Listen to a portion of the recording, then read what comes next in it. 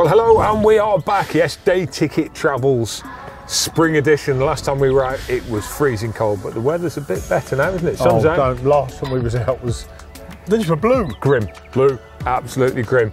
And we've come up north.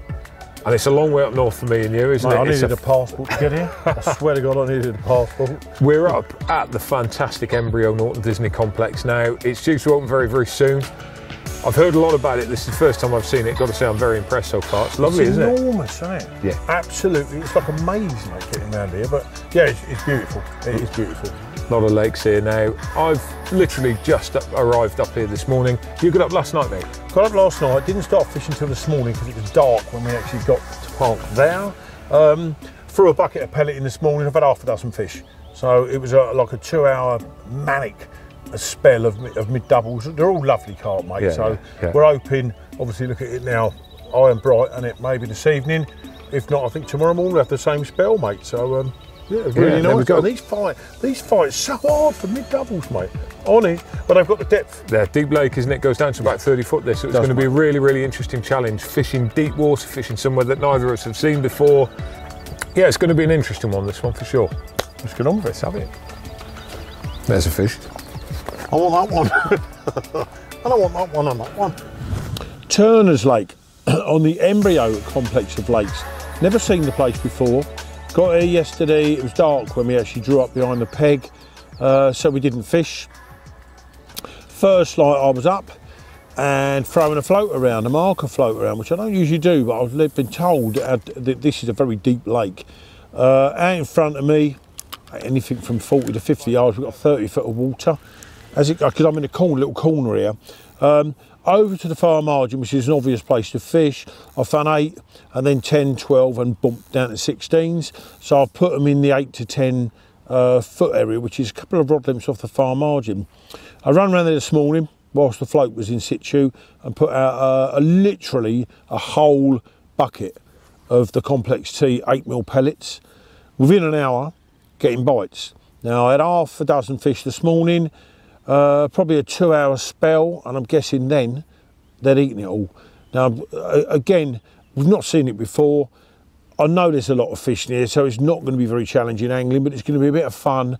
We hopefully get a few bites because we struggled on the last one uh, in the winter when my hands are actually blue. So six bites this morning in a in a in a short period. We've the day's gone quiet now, so this evening I'll put another whole bucket there hopefully in the morning or throughout the night get a few more fish. So um, all mid doubles, fight like tigers, really enjoying it. Rob's tips up, um, nice bit of social, and, and, you know we don't want any challenging fishing this on this one. Let's just have a laugh, go through a few bits with you guys, catch a good few carp.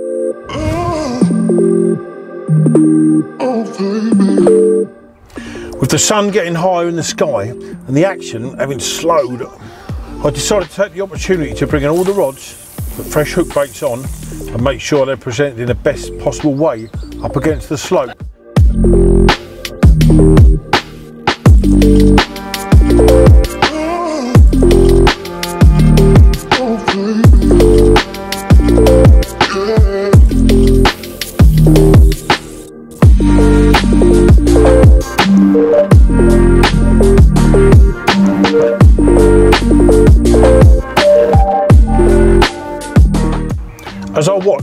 Across the water, more and more fish seemed to be patrolling up and down the bank.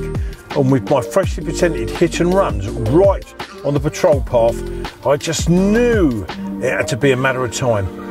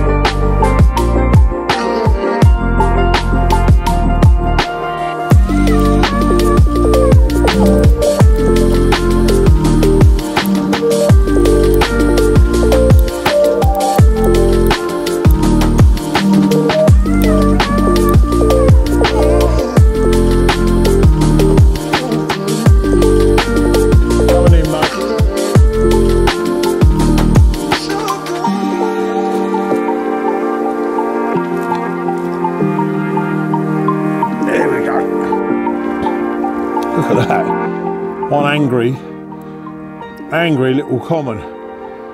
First fish, I put a tin of maize out over the far margin and just put one of the rods on that with a little yellow hit and run.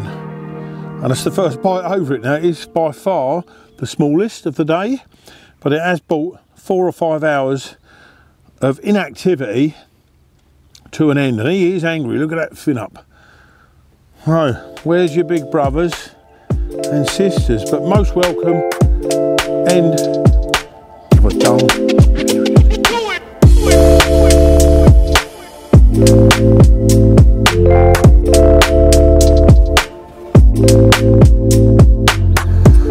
Right then, rods, two of them out of three, are now out.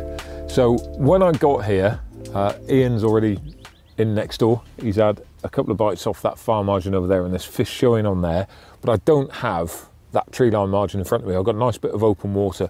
There is a bit of a margin on the left hand side that I'm hopeful there may be a fish or two on later on, but basically my half the peg is that open water bit out there. Now, we've been told it's quite deep, down to 30 foot in places, so the first thing that I wanted to do was just get a marker float out, find out, one, how deep it is. Because obviously at this time of year, a lot of the time the fish are going to be up in the shallower water rather than in the deeper water, and if it's 30 foot, I don't want to be down on the deck down there. So I'm looking for something that is a reasonable depth to fishing. Now, at this time of year, a lot of the time it can be the shallower the better. Uh, we're just starting to get that turnover. There's lots of weed on the bottom, all the dead stuff that's been dying through the course of the winter, all that is starting to lift up. And if you look in the edges, a lot of the time on lakes now, you'll see stuff coming to the surface. You don't want to be fishing in that, where that gas, the methane is expanding and coming out. You really don't want to be in there. And sometimes that's happening in the margins. So you don't want to be too shallow at the moment, but equally, you don't want to be too deep. So I'm trying to find that middle ground. Mark float's gone out and I've had a quick flick around and I'm finding 15 feet more or less everywhere apart from one hump in line with like a little metal container over there. 19 wraps exactly to the top of it and it's 11 foot which I think is a really really good depth. I can stick a zig on top of it if I need to so I'm you know I can come up a bit closer to the surface. However, I want to get these fish down on the deck if at all possible and an 11 foot hump in 15 foot of water is, is, is a pretty good spot at this time of year, I think. There's, if there's fish going to show around here, then I would think that they should drop down to that depth. So I've taken a reasonable amount of time to find that spot as well. You know, I, I think the, the art of the marker float is lost these days. A lot of people talk about wraps, a lot of people talk about depth, but you don't necessarily know what the spot's like unless you're feeling it down and getting that marker float coming back up and feeling exactly how deep it is. So I know how the hump is now. I took ages just plotting it. There's no fish there at the moment, so now's the time. Or earlier this afternoon, there was nothing there. They're all over there. I think they're going to move over at some stage, or fingers crossed they will. So really, loads and loads of casts, just feeling it coming back over the top. When I cast out with the float, I feel it down and you'll notice I sort of hit the clip and then I follow it through a little bit with a rod and then I'm feeling for that donk, that crack down. And as soon as it's donked and cracked down, then what I do is I give it a little skip, just skip it back up, hop it back up a little bit and drop it back down from sort of that high. In my head, the lead's coming back about a foot and I just donk it back down again just to feel double sure that it's not just one spot it's landed on, but it is an area. So float comes up, found this nice little spot, and then it's a case of getting the rod on the top. Now, with a marker float, obviously it's going down on braid, and you can feel a lot more on braid than you can on nylon, but I'm casting out by eye. So I'm trying to put it just behind the float. I know from previous experience I'm adding probably a foot for every five foot. So if it's 11 foot there, I'm casting two to three foot behind the float, getting a little bit of bounce back, a little bit of spring down, but more importantly, I'm just feeling that lead down I'm feeling for the best crack that I possibly can on nylon. So I've got two absolutely bang on that spot and I've spotted over the top of it with basically oily pellets and some boilie in there as well. Because these fish are fed on pellets hopefully when they come over the top of that spot they'll see this food down there they'll go down and they'll graze on it. They're going to be pack fish as well so there's quite a lot of bait out. I've put probably three quarters of one of our buckets out. Uh, and that's just pellet, bit of oil over the top of it, a few boilies in there, and I'm fishing a Ronnie with a yellow hit and run pop up over it, and I'm fishing what I call a reverse combi rig. So basically a choddy on a supple link, uh, cast out just to the side of that, tram line by the side of each other, probably four or five foot apart, one on the top, one just to the left hand side and just behind, so the line lays lovely on that hump out there. So if fish come over that hump, you know what, they're going to see me bait because they stand out. I know the bait works, I know these fish are going to like pellets. I reckon that if they go over there, I should be in for a whale of a time and I reckon I'll get a few bites off that as well. With the rods finally out for the night and the sun setting, it was time to kick back and enjoy one of Steve's famous barbecues. Well, that was a splendid barbecue. you know the what, most Rob? important thing. I, I will give Mrs. Coe Oh, credit yeah. where it's due. The, Yeah, the yeah. kebabs she could supply commercially, and Stephen's skills as a chef. He's obviously learned from his mother. yeah, that's a win. Yeah, that is Thank you definitely ever with so Mrs. much. Coe. Yeah, We love you. We love. we do. you. So no, great barbecue.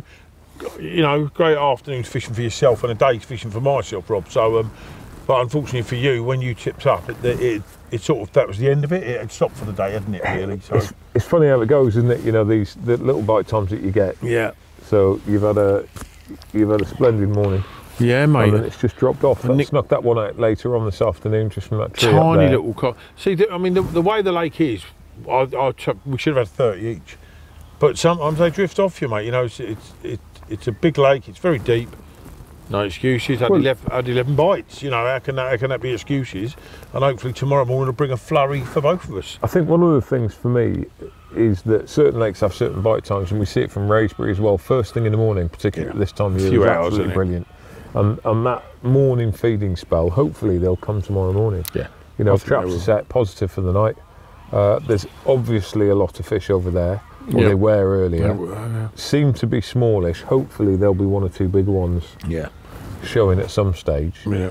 Let's talk about baiting approach as well, because a lot of bait has produced a lot of bites. Well, I, I've changed on one rod now. I've gone over near that the landslide with 20 mil uh, complex T boilies Yeah. and a 15 mil pink hit and run, because all I've had is mid doubling down. Yeah. And I just hope that might pick up a better one, like in a 20 pounder or something. Yeah, yeah, and that's you know the baiting approach has a massive effect on the Oh size my of God, fish yeah. catch, doesn't it? Yeah.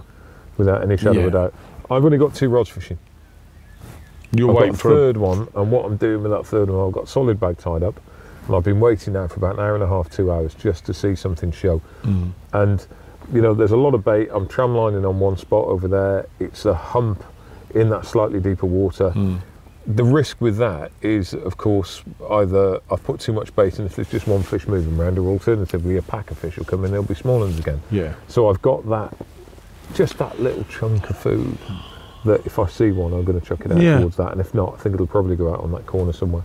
Uh, and I reckon, you know, that's a similar sort of thing to you with fishing for bites and the potential for a slightly Yeah, bigger and, and you know, gradually switch tactics on one rod to hopefully Yeah. pick up a better fish, like you know. See how it goes. So We'll that's see. it. Dropping dark now. Um, be nice to see a bit of nighttime action. Be even better if it was first thing in the morning. Yeah. Good night's sleep. I think Wake so, mate. I think I won't snore tonight. Mike said I snored last night. Yes, he will. I've done so many nights um, around with clients and Wraysbury of late. I was overtired, Yeah, yeah. and I was literally roaring last night. Mike said. So, shame is he's bibbed right, right at the top tonight. So it'll be you. Oh, thank you very much. No, I'm not as tired tonight. But yeah, great day, mate. And that was and one. um, that was one. And let's see what the dark cows bring. Um, or f- hopefully nothing, and we'll have them in the morning. As the last of the light dropped out of the sky, I punched the solid bag across to the left hand margin.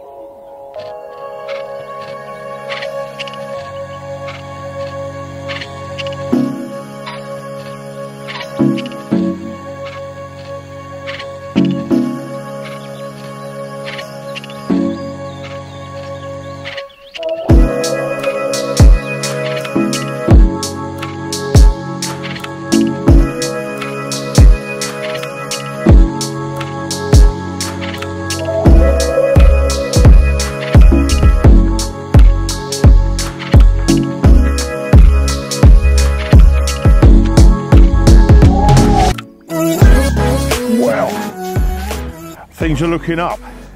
First light had one about 16, 17 pounds. Felt we should have had more, so I skipped back round there then when the rods were in and put in another whole bucket, which is probably six or seven kilos uh, of 8 complex T pellet, which is by far my favourite. Real meaty smell to that one, and this one loved it. Not half hour later, low 20 mirror. This one thought it's so deep here, this water. It fought so hard, I was convinced it was a real whopper. But it is a whopper compared to what we've had. So hopefully now this is a sign of things to come. We've got another day and a night, and hopefully a group of these 20s is what's merching about out there now. Our first mid double of the day. It's a nice little chunky one. Pink hit and runs over the complex T. And when I put this one back, because you've munched all my pellet, I shall be wandering back round there while the rods are still in and sticking out another whole bucket of 8 mil complex T pellets because they seem to be loving it. I think this is about fish about number 15. Had one fall off in the night. And there you go. So we've had about 15 carp now. Let's hope we get some of the bigger boys moving on the pellet.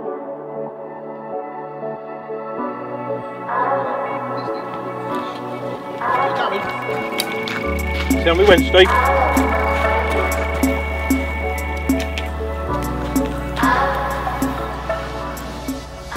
Well, having seen so many fish out in line with that, what's happened to the landslide on the far bank, um,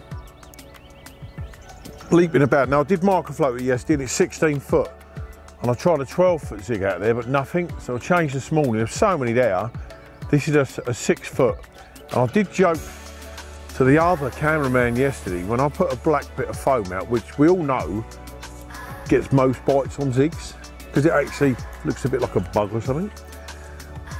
To be fair, Mike, the other cameraman, said, why don't you put a yellow one on? I'm going to give him credit on that one. And I said, quote, the bugs when they leave the lake bed wear safety helmets, a yellow one. And anyway, I've changed to a yellow one this morning six foot, although we haven't got this in yet because I've got quite a light hook link on it. Um, and we got our first zig bite. Six foot is the one then, mate. It's got to be that they feed them pellet that gives them all this energy, isn't it? They're just mental, mate. Right. Thank you.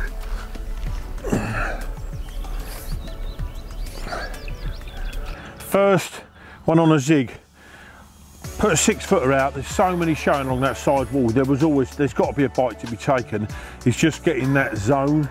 It's 16 foot deep there. So I had a 12 footer out yesterday, nothing, dropped it lower today. Bang, another low 20. But look at that, for me, that so far is definitely fish of the trip. Scaly banger, this side's a linear as well. I'm made up with that fish, and this thought, like it really thought we was gonna, was gonna eat you, weren't we? It locked me up off this marginal shelf, which is a bit of a pain. Walked up the bank, got her moving. Look at that. That is an absolute beautiful embryo carp. It was a quiet night for me on that spot. Nothing at all showed. Didn't hear anything through the course of the night. Uh, got up in the middle of the night, had a little listen. Nothing doing at all. The bag, I threw one for the corner over there. Nothing again. So I was feeling a bit sorry for myself this morning, to be honest. As you do, you know, you set your plot up, you think everything is absolutely bang right, and I was hoping those fish would move over from that side this way, and quite frankly, they didn't. So this morning, Mr. Russell, true to form, straight into fish again. There's quite a few over that side, so I've changed one over. He moved on to a zig and picked the bite up pretty quickly. So obviously the thing to do when you know what the fish are doing is just follow suit. So I banged a zig out, chucked it over to where I'd seen a few fish on that right hand side and it's been out about 20 minutes. As the rain started to pour, it didn't take long before my first Turner's Lake carp was in the bag.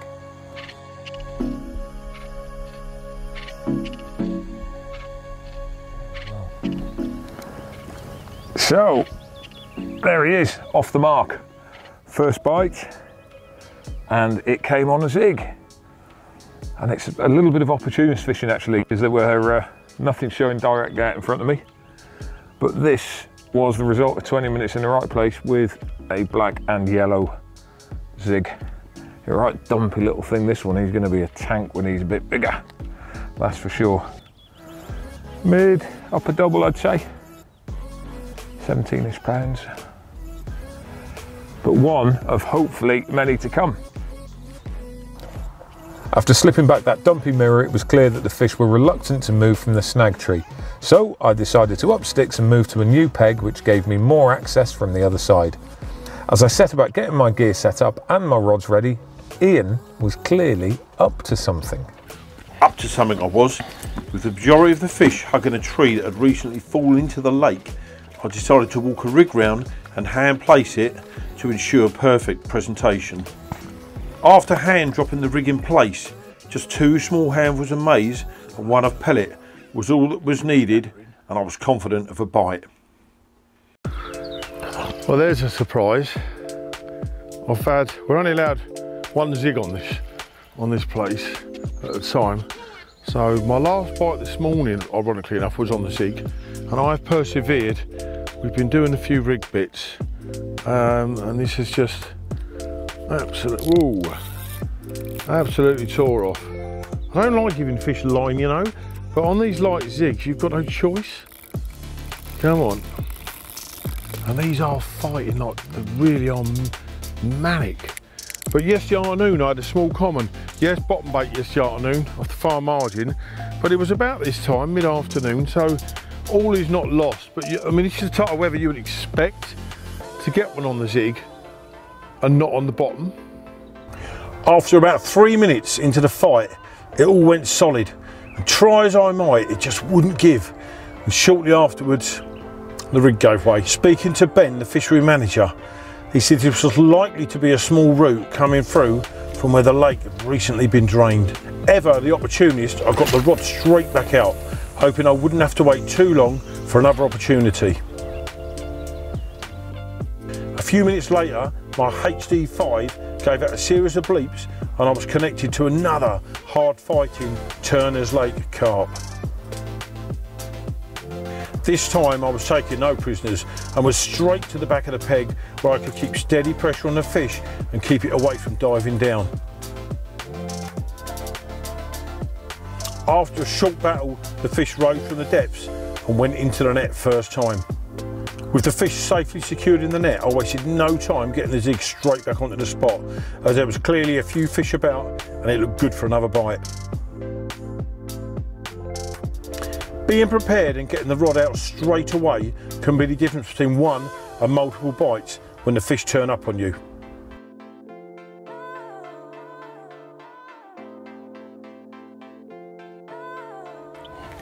Now there is the culprit of my last zig bite. Lost the one prior to that, got snagged on the bottom out there. We lost about a foot of the hook link. Uh, bear in mind it's a barbless venue, so that'll be spat, but I still don't like to lose them. But we did only lose a foot of hook link. So I did give this a bit of punishment, and in he came. Nice little low double. Now we've been here a couple of days now. I mean, we've worked it out anyway. Uh, you know, we just want to catch fish for the camera in different methods. So now it's a zig each, which is all we are allowed, and a couple on the bottom, but on the real shallow shelf. I walked along there earlier, placed a bait in the edge. Uh, there's so many fish up and down that shallow bit. It's, it's, it's unbelievable. I can't believe it ain't gone actually. It's been out for a couple of hours. But I'm enjoying getting the odd bite on a zig. Now I know it's 16 foot coming up to 12, so I've changed it. I've got six footers out, sorry, six foot zig out there now, my little mate. And um, it's done me, I think my third or fourth bite today on a zig. So all on yellow, even though you're not going to believe this, I'm a carp angler and an idiot. So I've just changed the yellow to red because if it gets a, a quicker bite or a bigger fish. And there you have it, a lovely little mirror carp, mid-afternoon, blazing hot sunshine, he's going back.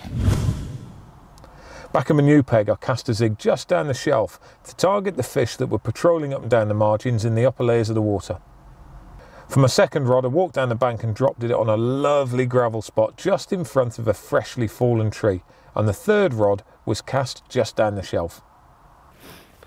Right then I've moved and we've had a right mixed bag of weather. One minute it's chucking it down with rain, the next minute it's almost short weather.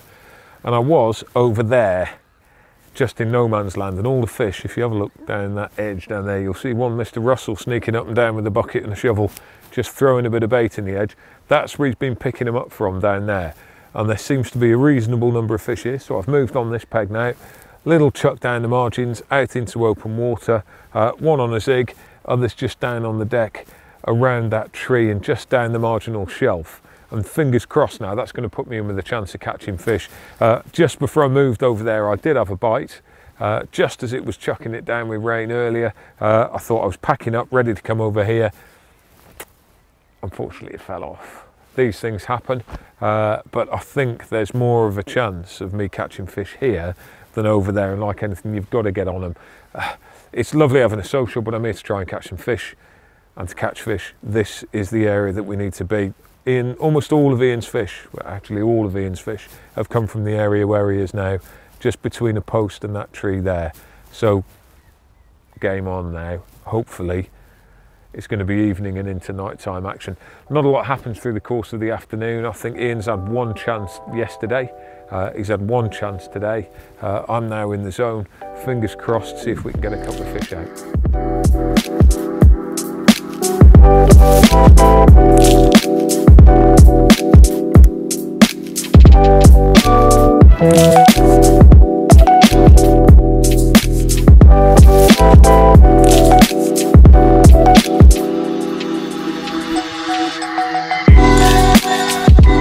You know what? How many times is it said? Two minutes in the right spot. I walked around that side wall while Steve watched the rods because I've had a bait over in that margin for hours in clearly the wrong spot. I walked another five yards further down the bank and there's a, a proper gravel clear bit. Oh, I just got to keep keep this one moving. Proper gravel clear bit. So in all fairness to Stevie, he held the rod and I walked it back round there, literally lowered it in, lowered it in with an handful of maize.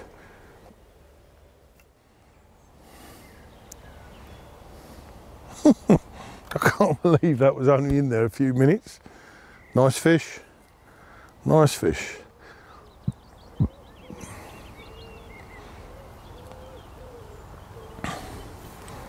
Getting out from, look at this undercut bank and they're going right under there. that is better. That's fishing, not not waiting, okay? When you're sitting behind the rods, it, it, we can't help it, it is waiting, but that little walk round there, clocking, there must have been 20 fish in an area the size of a ground sheet to walk all the way around there while Steve, to be fair, Steve held the line out of the water, lowered it in amongst them, ample of the maize, back here, within 10 minutes, wallop. I do like working for them. It's brilliant. Up he comes. Right. The result of five minutes in the right place. I nipped round that side to rebait the other rod I put out earlier. It was all still there, so it wasn't necessary. I walked like five or 10 yards further down the bank. There's a bit, probably the size of a ground sheet of gravel just off the edge. With about 20 of these milling round it. So Steve held the rod. I walked all the way around with the line out the water, lowered it in, out of the maize. I've given him probably close to 25 pound that fish. He's chunky and heavy. So, like we said, four hours on that spot, five or six minutes on that spot. Well worth the work.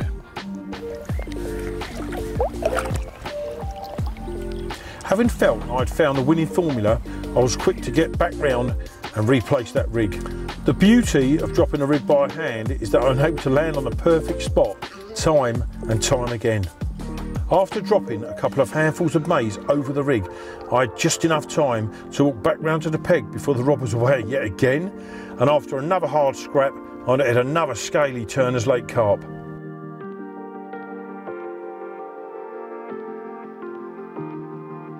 Back at my peg, it had been a frustrating afternoon, but my luck was about to change. It's been very quiet for me this afternoon, but we're just dropping into evening now. The barbecue is lit on the other side of the lake. Mr. Russell, as always, is playing the carp as we speak at the moment, and we've just had a double take from opposite sides of the lake. Uh, he's been catching down the edge. I've finally got my spot working actually. It's, uh, it's taken a while. It's been a bit of a head scratcher because I can wander up into the trees behind, look down on them, and they've been going back and two, back and two. But, you know, this is my first afternoon stroke evening in this bit. Uh, and uh, Ian had the same with his. It was, uh, it was quite through the afternoon. But as soon as it got to evening time, that's when it picked up again, a couple of bites. Uh, and then there was a bit of silliness through the night. So this does feel half decent fish actually. And here is my one. Look at that, an absolute corker. Tell you what, he didn't have to put up a scrap and all. This is a good mid 20 pounder. Absolutely fantastic. And I've got to say, I'm pretty, uh, pretty chuffed to get him. The average size has been reasonable, but this is one of the better ones. And yeah, what a scrap. What an absolute battle this was.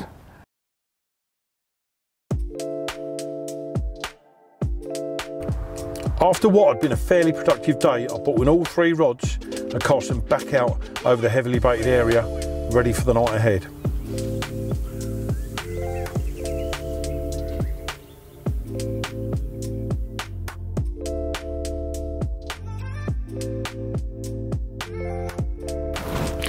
What is that? Is that a pterodactyl? That's a pterodactyl peacock. This is like being in Jurassic Park. it's lovely up here, I like it. Well, it's I like, lovely. I like how wide open it is and I love the fact there's pine trees everywhere. It feels like I'm at Centre Park. It's gonna be something fairly special. Yeah, it's pretty good, years' isn't it? Pretty good indeed. Fair play to the boys. Been a But good day today, yeah. Today, do you know what? There is not. I don't think there's a weather front we haven't had today. Isn't it? Well, at lunchtime, it was like someone was throwing like eight mil boilies at us, wasn't Mate, it? it's With crazy. The hail. Shorts, bit of sunburn in the morning. Steve had shorts on, Yeah, wrong colour, not but pleasant. you know, I'm not Yeah, so- I not think he pleasant. borrowed them. If, I, thought, I don't know if Steve's got a sister, and he bought her shorts. with him. not sure about that, but, but, we, but onto the fishing. Yes. Um, good day today, mate. Had a few, mid twenty each. Yeah, yeah, That's not always bad. good, mate. At least Always we're nicking nice a couple of good ones one. now, like, you Yeah, know, absolutely. rather than the low doubles. I've but, got a um, question for you as well. It's you- not about Steve Schultz. No, it's definitely No. not about Steve Shorts. It's about the amount of bait that you've put in as well, because you've been sticking a lot of bait in. haven't you? How much do you reckon you've gone through so far? Well, I've been putting a lot of bait over two rods, and then the one I was fishing down the margin Yeah. was just a handful for a bite, like Yeah, you know. yeah, yeah. Over the other, well, I've done a, at least two buckets each day over them two rods. So what's that? About twelve k a day. Yeah, that's a lot, isn't it? You know, a, a a buck. Well, I've done a bucket this morning at five o'clock, and I've done another bucket at lunchtime. And in all fairness, I've done another bucket this evening. Yeah, yeah. Put the rods back in. So Yeah, you don't notice it when you're just trickling through it, but actually, it, it, one of the things that's really stood out for me, how you fished this, is the amount of bait that you've put in, and you've The kept pellet, the fish mate. there, Yeah. haven't you? And Well, it- they've you know, turned. they but drift off, Rob, uh, about mid morning, and I know. Um, uh, uh, first lightish, they are there, bang, Yeah, bang. yeah. You'll get two, three, maybe four takes, yeah, then they're gone. yeah. Yeah, But that's the great thing about pellet, isn't it? Because it's you know it's pretty inexpensive to Yeah. put in the quantities. If it was boilie, you'd think, oh blimey. I've probably done 25 kilos since I got here, if not, if not a fraction more. Yeah, so. yeah, yeah, But I've had a lot of bites. I've been on the fish, Rob, to be fair. Yeah. Uh, and like I said, we've had a nice mid 20 each. So Yeah, that, that's what matters. You know, it's, it's been great fun. Well, fingers crossed for a good night's kip tonight. Yeah, because I was up. Well, I lost a fish at half one in the morning. You got up and it was like that. Yeah. Like a zombie running round. So um, That was half past two. That it was. was half past two, was Yeah, it? yeah, there you yeah, was go. That's how much fun I wasn't even Yeah, time it was. yeah. But, Well, I've um, moved now, and you're not going to keep me awake with your snoring tonight. no, no, nor were you. I don't know what you was doing. It was like a shuffling noise all night. Oh, was it? Not sure about that. I don't know what that was. Lasted a long time, Anyway, that, didn't it? What happens, what happens here stays here, but um, no one else would know that. There's Yeah, a secret yeah, no, between us. right. But let's, yeah, good, nice kip. We're off sort of late morning tomorrow, hopefully. yeah. A couple more fish maybe each. Uh, Well, done, I'm looking mate. forward to morning bite time because consistently morning bite time has produced a few fish, hasn't it? Yeah. You know, what was it? You had five, fi no, se- five the first morning. morning altogether, it was about nine or ten fish. But Was throughout the whole morning, yeah, like that. Yeah, yeah. And then second morning that was yesterday morning. That was another Yeah, five another odd two fish or in the three, morning, mate. I'm yeah. on 18 fish now, so. yeah, um, blimey. uh, but yeah, Yeah, not bad at all. Well, I've got my first proper morning on them tomorrow, so hopefully that'll be official. fish good nice two. kip. Um, Get up at five, rack a couple of fish out, and, Yeah. and off by about disappear 11 before the rain. Before the rain.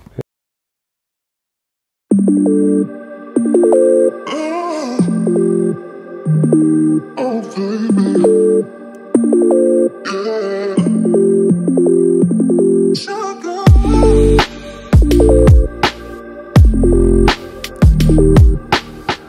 five o'clock in the morning and I've got to say the view from the new house is just absolutely stunning. Facing east, which is always a nice place for a carp angler to be on a spring morning. The sunrise this morning was just absolutely glorious and also that bit just before the sun come up as well. A lot of the time that's why we go carp fishing but of course the main reason is to catch carp and I had a great night last night and a few runs. Uh, got a got a couple of nice ones in the net already and the big question at this time of day now is what do you do? Do you leave the rods out or do you re-chuck them? This time of year particularly going through sort of early late spring, early summer is brilliant at first light. You know, Ian's had a couple of bites both yesterday and the day before. Today I'm now hoping for a couple as well because I'm on fish. So I have actually just recast, um, primarily because after I'd had a couple of fish last night, I didn't put the rod back out, fancied a, a good night's sleep, and I'd rather catch them first thing in the morning than through the course of the night. It's a really, really good time this now, this sort of five o'clock through to eight, nine o'clock loads and loads of lakes produce. So if you aren't absolutely on the money or you've rechucked through the course of the night and you're thinking it's not quite right, then now is the time to chuck it out because normally there's fish around. So fingers crossed there's another bite or two left. We've got a few hours left. I've got little yellow hit and run wafters on a German rig at the moment because it's lovely and sandy just off the edge of that tree. And that's what's been doing the damage for me. So uh, yeah, fingers crossed, it's bite time.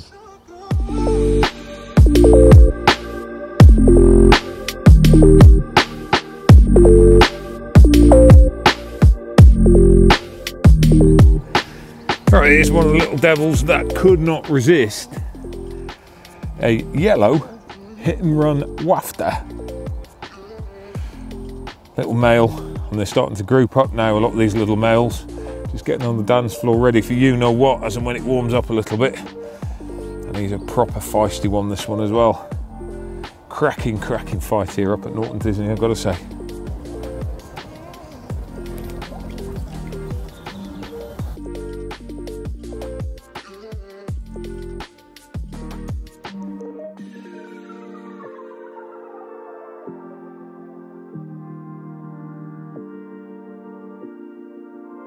And look at that. In the morning sunshine, after an epic battle in the early hours of the morning, that is a cracking carp. Good mid 20 pounder. Once again, yellow, and all of my bites have come on yellow, either yellow zigs or alternatively yellow hit and runs. Uh, did try the pinks, but pink wasn't playing the game on this trip. It's all been about the yellow and the pellets and I think that's something to do with the fact that these guys have been fed in the past on maize and also on pellets as well. And it's always worthwhile just thinking about that what do these fish normally eat? But just look at him real real good scrap.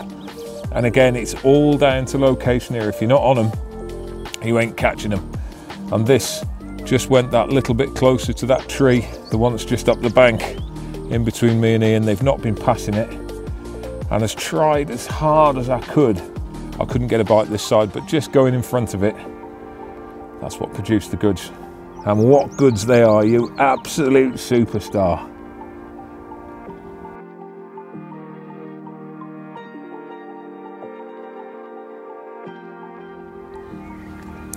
Morning, which it is at last. Might look a little bit tired this morning because 11.30, midnight, and 3 a.m. Uh, the two rods fished down this end of the of the sidewall lifted up over the pellet, uh, three mid doubles. So um, I have put them back out again. I've re literally just redone them as well because there's always that chance. We've got a few hours left yet uh, of one of the better ones in here because there are a couple of 40 pounders and a few around the 30, 35 pound mark. And I did see a couple of them down the bank yesterday. So a few hours yet. We'll hang on See if we can't get one of them bigger ones.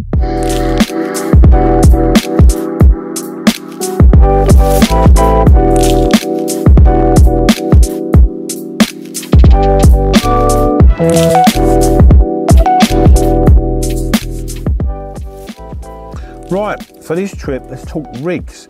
I have used this little one. Now, all, the only thing I've changed, I've alternated between pink hit and runs, yellow hit and runs, or a piece of plastic corn. They all lift the hook as so. I've tied them up in Ronnie style and let me explain further the venue we're on is a strict barbless rule. Now in the world of fishing hooks a straight point barbless hook I find and I do use them occasionally not the straight points but barbless on the day ticket venues I visit a straight point is nowhere near as effective as staying in that fish as a V curve or a wide gape. Okay, so for me, it's the V curve. If you look at a, an eagle's claw, it's like that. So you want something that's constantly pulling into the fish when you're playing the fish. And the V curve, I have to say, yes, I'm biased, but let me tell you the truth. They're amongst the sharpest hooks in the entire solar system. So again, a V curve or one of our wide gapes, you've got to have that in-turn point when you're playing fish, when you're hooking fish on barbless venues. Well, there you have it, mate. Another day ticket travels over and done with. Absolutely. It's been quite a good one as well, hasn't it? Loads and loads of action, mate. It, it just fished a blinder again. Absolutely Yeah, brilliant. well, uh, you know, it's, it's been on them and not been on them. We, we know that, Rob, for, for, for years you've known it. You were unlucky. You probably worked harder than me, actually, for less of a result, but that's what it's about. But average size was actually not too bad for me. It didn't have as many fish, but Well, actually up a had, yeah, a 17, few. 18 pound up, Yeah, up, you a couple know. of decent 20s as Four well. or five so- 20s. Yeah, no, It's been brilliant. You Yeah. can- the pellet, I don't know how much pellet I've used. My van come here like that, You've- and now it's going home like You've that. used a lot more than me, I think. That's Yeah. that's for sure. You know, But it's um, worked. it, interesting worked. seeing the behaviour patterns of the fish. Interesting seeing how they group up, and when they're on, they're really on, and you've just got to keep putting that bait in, haven't you? that early morning spell for me, ev- ev- each morning was, Yeah, was yeah. Ballistic. It was ridiculous. But you knew also then you, they'd run out. You'd run out of bait. They'd gone. Yeah, just gotta You get know, it the bite stopped. Simple as that. And I've, I've seen it loads of times when I've been diving. We've looked at various different films as well. When they're on it, you almost can't put enough in. They just keep going. That's one of the great things with Spare pellet, rigs, spare bags, spare leads. Just get it in. Keep the speed up because you've got that two hour, if that, two hour window, and they've mopped you and gone. And in my, 100%. where I was, and then we went on the zigs to be fair, where I was, once they'd gone, they'd gone. Yeah. I knew it would be early morning next morning, Yeah, mate. that's it. And So- it, they, they, they're quite predictable the way they move. You know, they're in that snag, they've gone, then they're out in the open Yeah. water. And, the, you know, there was some quite predictable bite times as well. Yep. But that early morning spell is always a good one. I was surprised we didn't catch more this morning, actually. You know, after first light, I thought there were Yeah. going to be more chances. But there's been a wind direction change, there's been an air pressure Well, change, and there's a lot out, more Rob, sun. in the night. I had three in the night, uh, mid mid doubles, and I knew at first light. Yeah, yeah. We were also winding down, so Yeah, um, yeah, yeah. you know we'd had enough fish, but I knew at first light they'd, they'd, they'd gone, mate. They'd ate it all and gone. That's it. So Good you go. session, great place, great future. For northern anglers in particular, Yeah. you know, uh, well, for everybody, but for northern anglers, it's going Yeah. to be amazing having somewhere like this on your doorstep as well. So, as far as I'm concerned, well worth a visit. Really enjoyed it. Absolutely. See you next time.